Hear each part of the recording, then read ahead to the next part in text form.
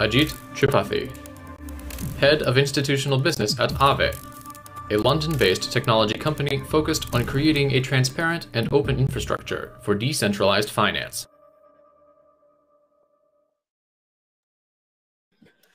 Hi, uh, this is, uh, it's been a while since I did a, a conference on uh, on anything except Zoom, so this is quite a nice experience. Uh, thank you for inviting us to present uh, and talk at this uh, at this event. It seems to have been really put together very well, for which I should congratulate the organizers for putting up a great show.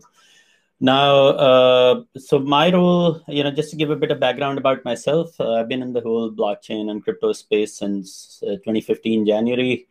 Uh, so I used to build, uh, I built the P- PwC's blockchain business back in 2015 when it was very early days, and uh, that was the time when institutions didn't really want to talk about Bitcoin, right? So if you ended up in a meeting with a bank and you said, "Hey, you guys should look into Bitcoin," then they they they would look at what the hell are you talking about? And everyone wanted to talk about DLT, which is kind of private enterprise blockchains and so on and so forth. So, so that was 2015.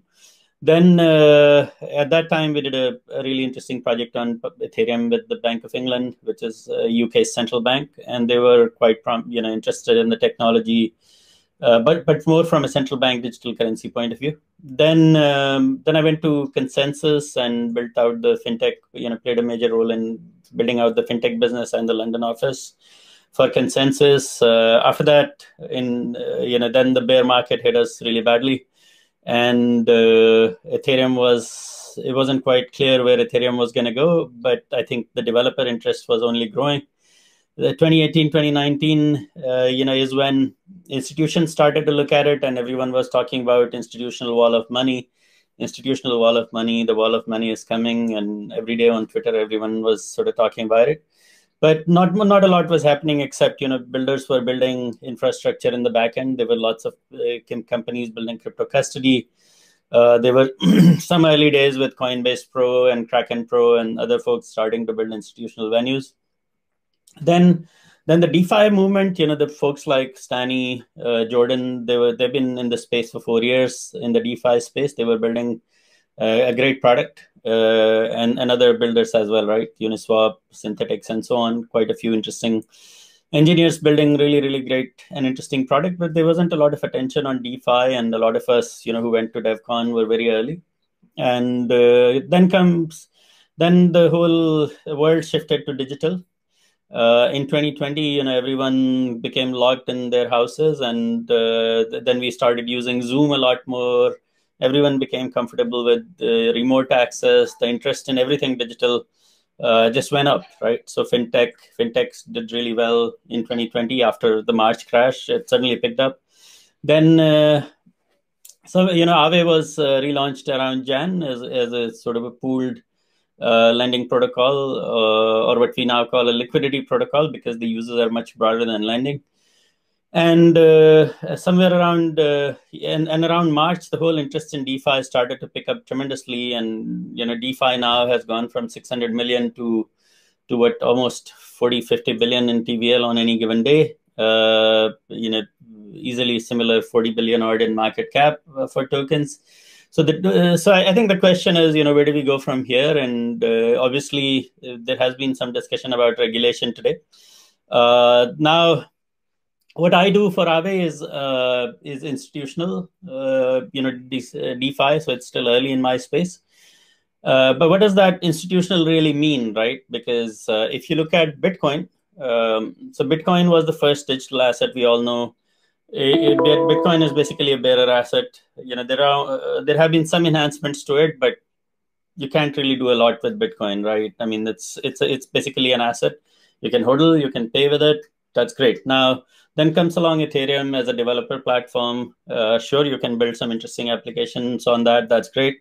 Then comes along, uh, you know, then come along things like Flow Protocol and so on, where you kind of build NFTs and and some other applications that are not necessarily for crypto native people they even anyone any artist musician whoever can build use some of those applications on either ethereum flow or whatever it is right so that's the next generation then defi and that's the time when we're doing crypto kitties you know asteroid mining and whatnot Uh, and a lot of moonshot projects were going on at the time, like token curated registries and whatnot. So, so I've seen kind of three or four bull and bear markets now.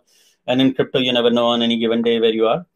So now institutional has a few things, right? So institutional is about uh, so what characterizes retail from institutional. The first thing is a lot of lawyers right so so as soon as you get into institutional uh, so you you're dealing with two things either institutions have their own money which we call proprietary or it's client money you know other people's money uh, so things like uh, asset managers manage, managing other people's money family offices managing some you know or private wealth institutions managing rich people's money and at the far end you have retail which is the likes of revolut monzo whoever and th- these are you know typically uh, customers that require a lot of protections, right? So because uh, what you on one hand, it's great that everyone can now invest on Robinhood and you know uh, trade freely. There is all this democratization of risk taking. Anyone can do whatever they want. But at the same time, that looks great in a bull market. That doesn't look so great in a bear market. So what happens is, you know, retail customers love to to trade and speculate and when things are going up, and, and they want to be let alone to do everything they want to do. But when the, the markets start to crash, then it's the same investors that then you know are complaining to regulators and and I, I spent six months at Binance doing some fiat on ramp work.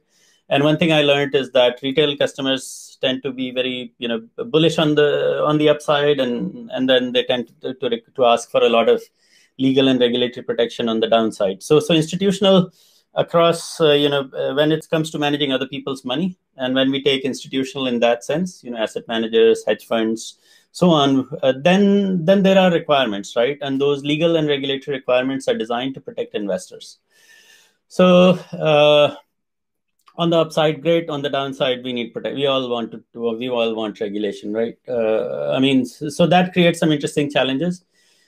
Now, since 1933, when the U.S. Uh, installed the Securities and Exchange Act, there has been a lot of regulation, right? And especially since the financial crisis in 2008 there has been more regulation created than in the previous 100 years before that. So, so I used to work in compliance and regulatory change for PwC part-time and in addition, in addition to my blockchain job. And it was all about rules, rules, rules, and new rules created to fix the old rules that weren't working. So all of those rules have a good intention, right? They're designed to protect investors from things like scams, from losing money, from being taken for a ride by unscrupulous actors and you know and so on and so forth. So a lot of rules have good intent.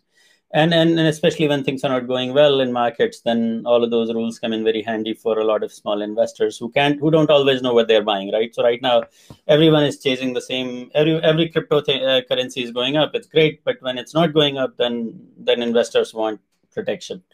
So uh, and we saw that with gamestop and whatnot right? And now so institutional is basically you take the current technology and product that's great. Now you start to think about regulation and what are those regulatory areas? There is obviously KYC, you know, which is who is actually investing, who is actually doing things. There is AML, which is you know things like transaction monitoring. Is there like criminal money getting into this? Uh, and and yeah, sure. And censor, there is a whole aspect of censorship resistant resistance where you want to you know make sure that uh, people who are protesting regimes like Venezuela, you know, or, or are suffering in failed economies, are not restricted by oppressive governments uh, from participating in Bitcoin or public blockchain applications. So that's very, very important.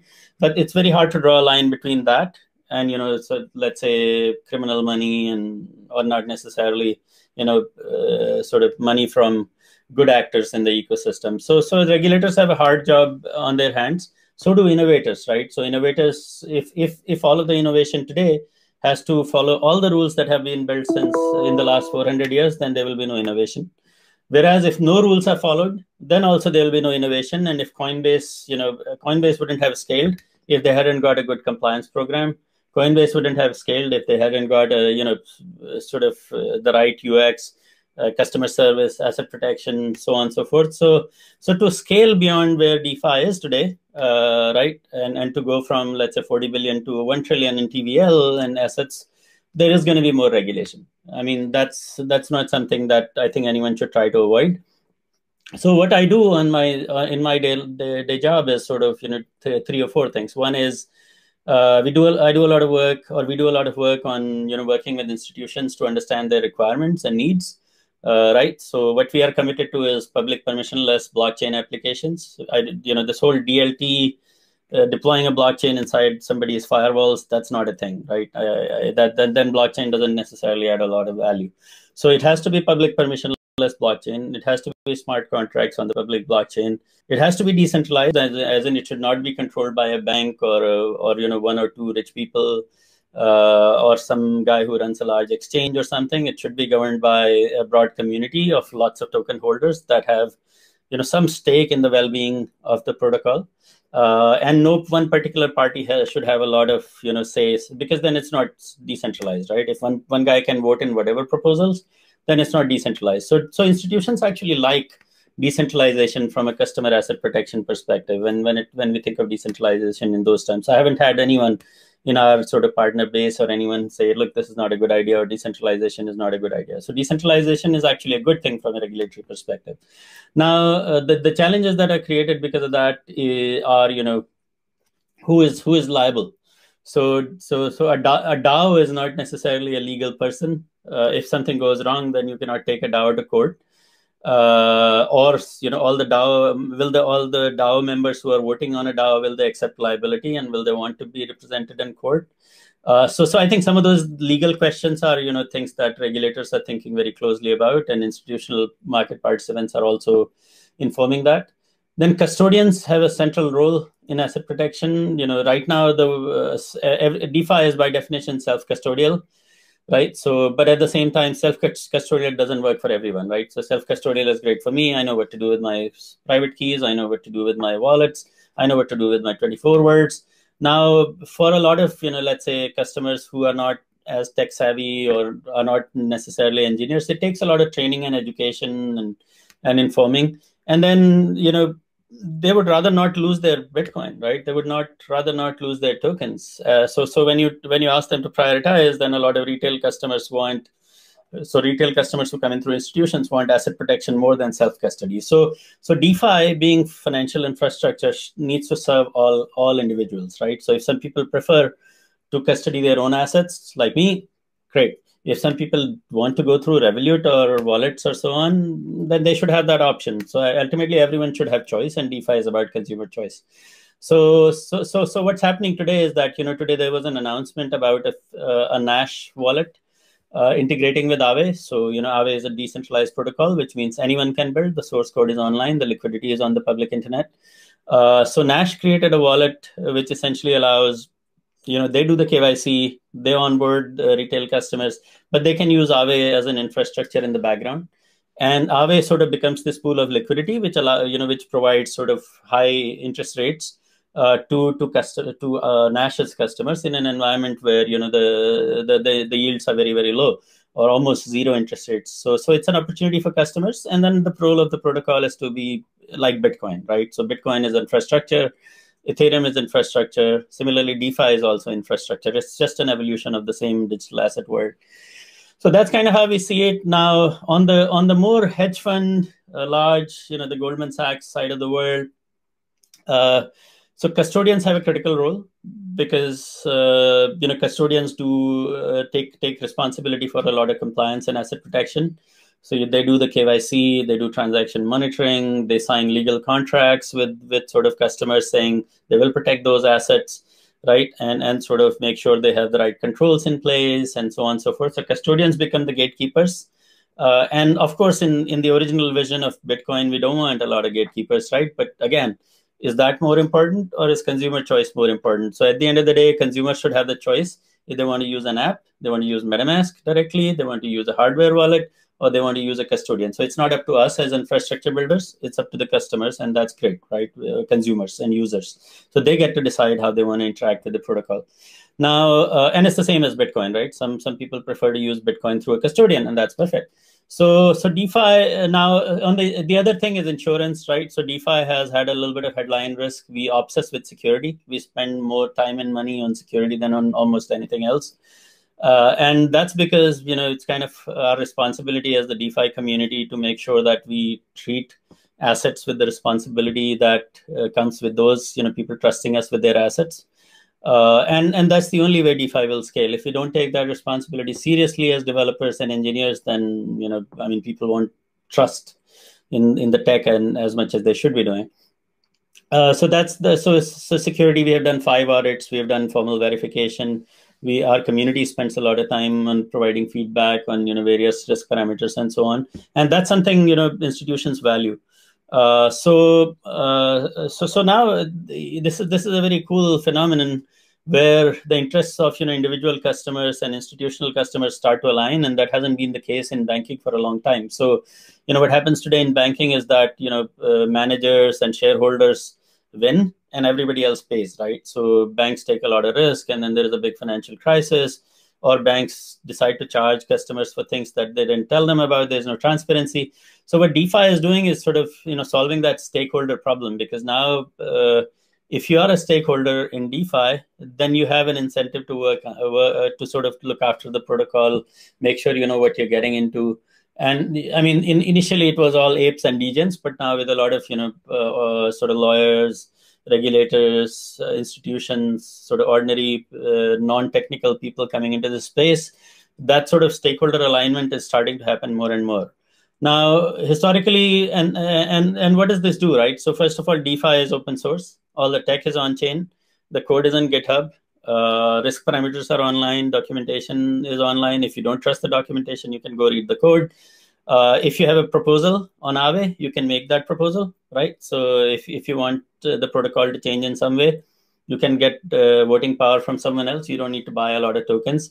So we take this decentralization responsibility very, very seriously because you know that's kind of how the incentives get aligned and incentive alignment solves the stakeholder problem right? So right now banks have an incentive to do whatever they want to do behind the firewall or behind their walls with five guys sitting in a closed room making decisions. That's not how defi works. In defi if you have you know bad code it'll get hacked. If you have you know if you haven't done proper testing and you're testing in prod you know bad things will happen so uh, whereas you know if, if it's if a protocol is completely centralized and someone owns 80% of the tokens, you can't hide that, right? I mean, people will know about it because it's all on chain.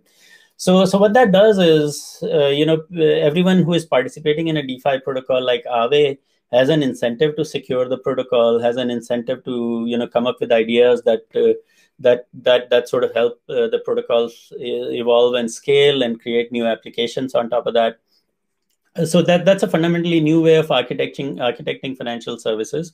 And and when we talk to regulators uh, you know and policymakers about this idea that look instead of creating more and more rules and paper and paper and paper that people can hide behind and you know align with the the the language of the law but not necessarily the spirit of the spirit of the law why don't we create this you know the defi as sort of the transparent infrastructure uh, that anyone can look at that is completely not hidden it's in it's in front of everyone. It's transparent. The logic is there. If there is anything dodgy with it you kind of know about it right? So so it's so that transparency is how stakeholder incentives are aligned because you know if you're a if you're a user and you know you can see what's going on. If you're a developer you can see what's going on. If you're an investor you know exactly what's going on because you have a lot to you know uh, lot at stake. So so this sort of uh, uh, what what i've seen as coming in from traditional financial services and getting into DeFi is that you know this transparency of logic has created a lot of stakeholder alignment, which hasn't been the case, and that's kind of in my mind, you know, across individuals, institutions, regulators, and everyone else, we are starting to see that, and that's something we look to drive in the future as well. That's pretty much it from me.